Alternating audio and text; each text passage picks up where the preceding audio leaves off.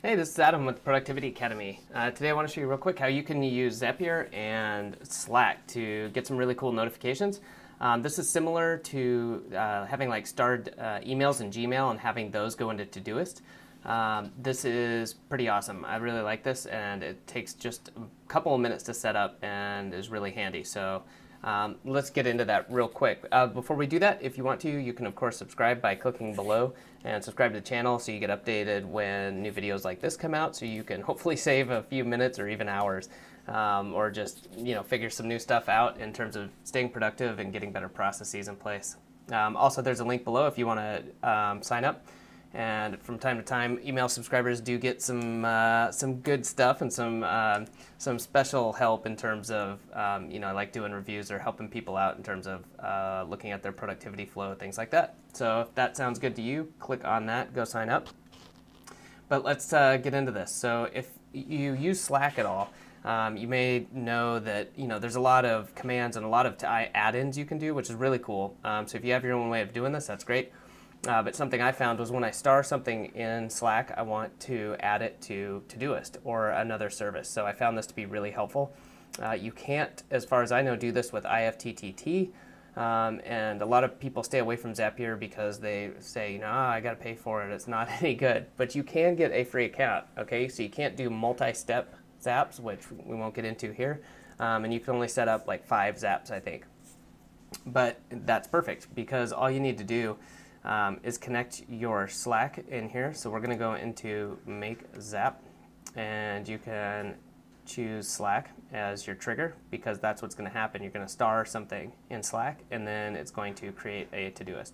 Um, let's so let's do this. So new message posted anywhere, new message posted to channel, new starred message. So I want to do new starred message because I want this to kind of be a special action. Okay, I've already connected my Slack account. I'm to save and continue. Doop, doop, doop. It's thinking, it's looking.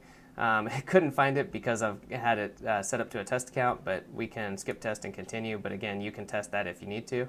All right, so we continue, and then what we want to do here is we want to use Todoist. Um, and this is going to be funny because I think I might not have hooked it up to this account yet. um, so let's see, Todoist, there we go uh, and we want to create a task. Okay, so you could create a project or mark task as being completed, but I like this. I want to create a task. Save and continue. Okay, I'm going to connect my account real quick. All right, and through the magic of stopping and uh, starting again, it's connected.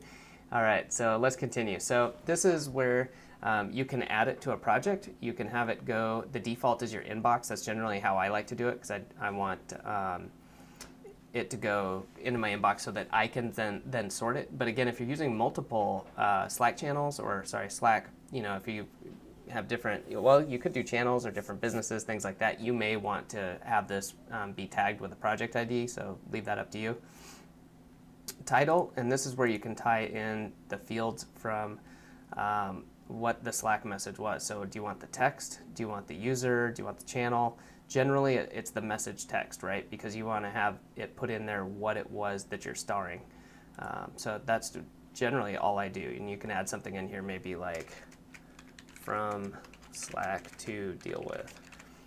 Okay, and then um, a note, um, you can do additional um, information. Again, this is really um, obviously highly customizable, anything you want to do in here. Um, and then you've got a lot of other things in here. There's a couple that I think are really important. The due date, you can read their date time help here. Um, I like it to be for today because I want it to go into my inbox. And if you don't have a date set, it just goes into your inbox with no date. So you'll never see it unless you review everything in your inbox. So having today forces it to be added.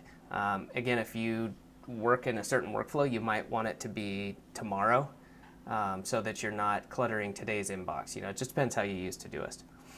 All right, and then priority, um, this just gives it, do you want it a priority? And I believe priority one is top priority and where it gets like a red flag, and then priority four is uh, no flag. And so it's just like a general inbox task. And then your labels.